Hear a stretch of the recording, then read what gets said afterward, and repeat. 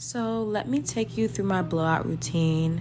So my hair is already stretched here. It's just dry, needs a refresher, and needs to be washed.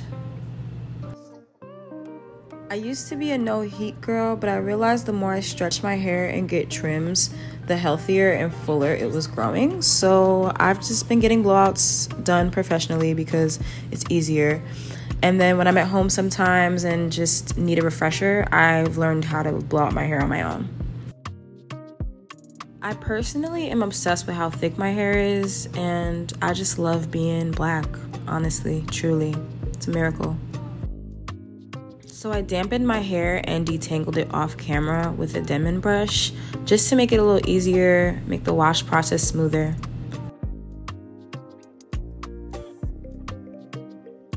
So the first thing I'm gonna do, and my stylist told me to always do this, is completely rinse my hair with the water. Before I add any shampoo, any conditioner, stuff like that, I'm just gonna drench my hair in water, clean it out. It should be clean with the water first.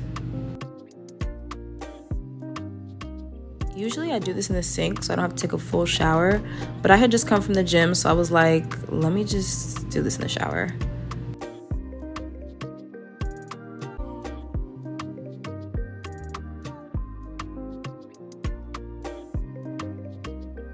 You watched my last video from a few years ago, you'll notice there's a significant difference in my hair. The ends are different, it's fuller, it's longer. So this is my second time using Curl Days products. Um, I'm gonna go in with the shampoo first. It smells really good, but most hair products do.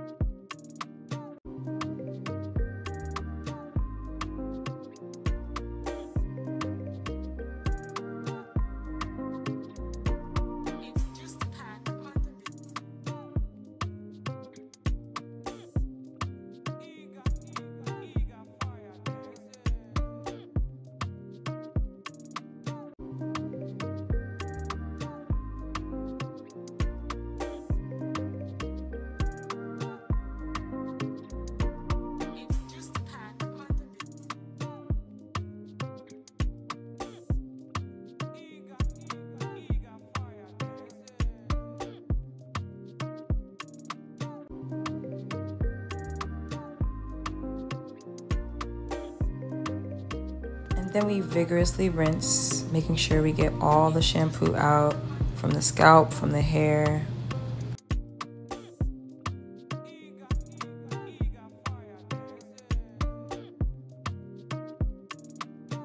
Now it's time for the conditioner.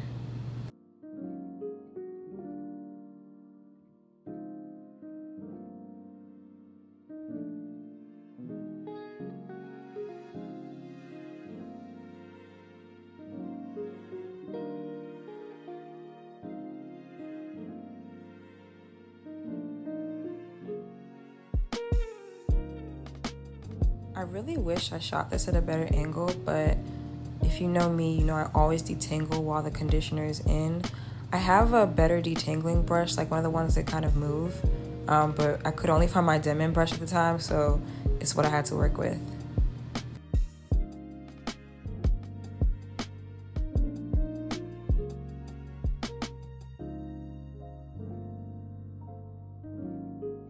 So I detangle in sections, usually about four, and then twist once the hair is detangled, just so, you know, it kind of doesn't get in the way.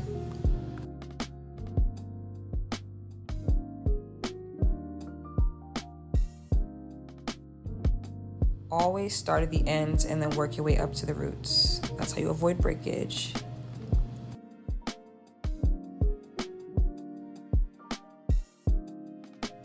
Get a good look at these little dookie twists. And now it's time to rinse out the conditioner. So sometimes I'll like do a hair mask or leave the conditioner in for longer, put a plastic wrap on and like steam the hair. But today I didn't have much time for that, so I was just like conditioner then rinse like as if I was in the salon.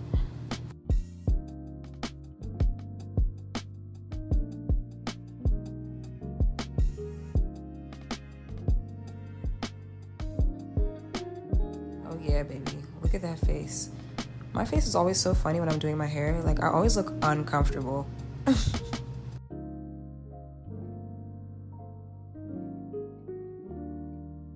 okay, and then the wash portion of the day is done. I grab my microfiber towel or sometimes a t shirt and dry my hair. Both options just avoid um, some of the tugging that towels do. But they still use towels in salons, so does it make a big difference? Who knows?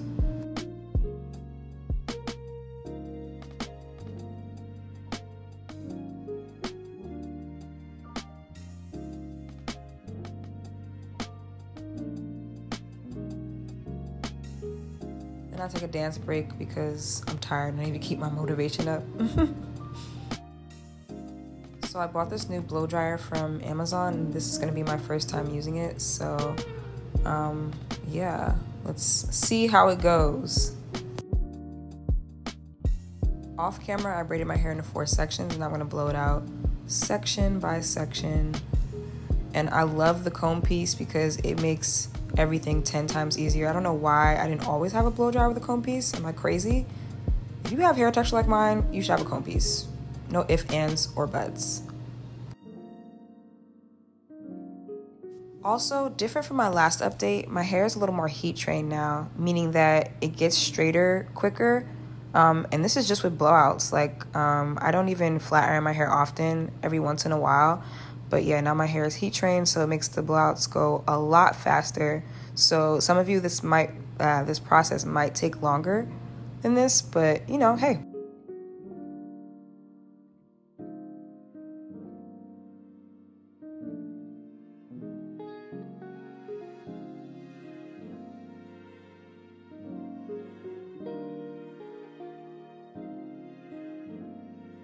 As usual, detangling takes bricks. I was using the wide tooth comb now because um, my Denman brush was so dirty from the conditioner, and I also just didn't have time to clean it. I was in a rush, pretty much. So, yep, now the hair is ready to be blown out.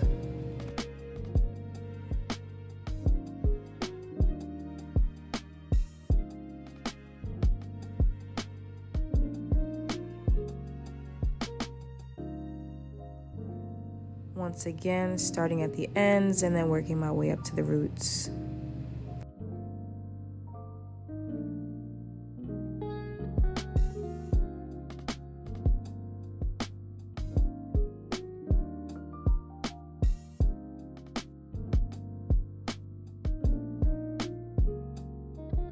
Also, I should note that my hair felt really soft um, after using the Curl Days products. So, just a note. Being paid. They just sent me free stuff, and I was like, you know what? I'll try it.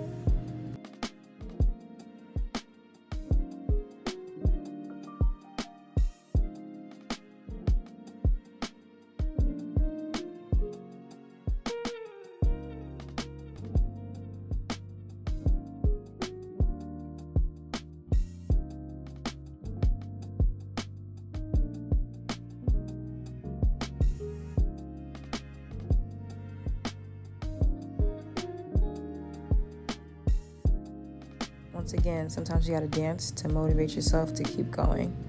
oh my gosh, I almost forgot to mention that you guys have probably noticed I haven't put on any heat protectant or any product.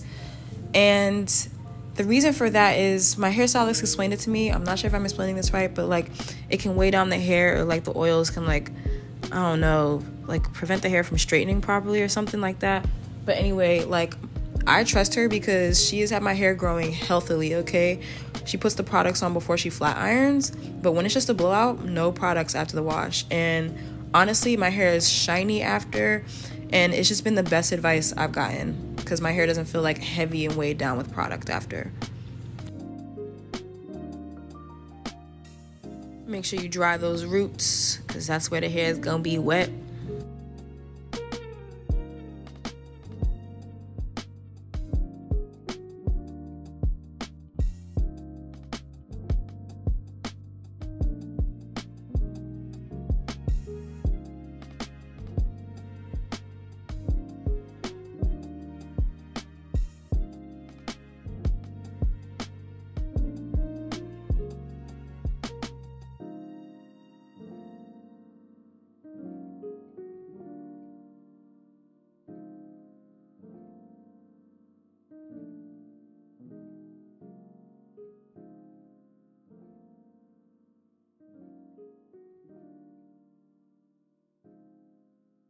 And once I finish the last section, I just do a run through of the entire head, just in case I missed any spots.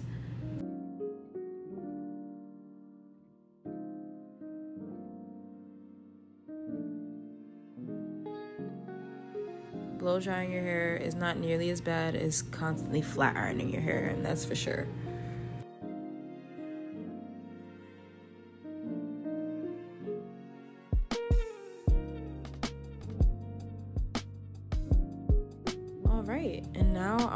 Finished, and I'm just gonna show off my hair and how fluffy it is for the remainder of the time.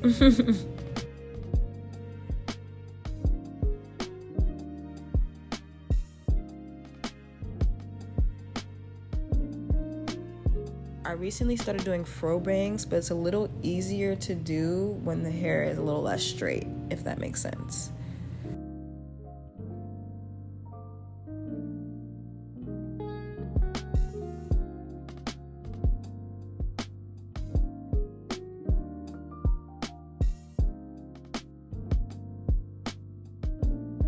Voila, that's a wrap. I think this took me like a little over an hour, but I was also like taking my sweet time, so I'm not sure. But it's going pretty faster now than it used to. Like, this is honestly a breeze now. And then you can style to your liking. Like, sometimes I like to do the little two pigtails in front. Feel free to like, comment, and subscribe to my channel if you like this video. More on the way. And comment if you want to see something else from me.